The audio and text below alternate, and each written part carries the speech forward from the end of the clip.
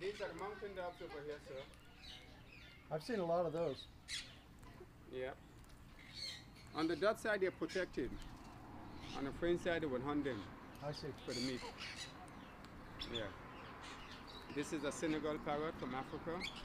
Those are the ringnecks.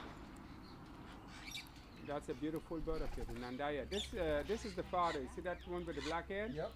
It's the father of those here.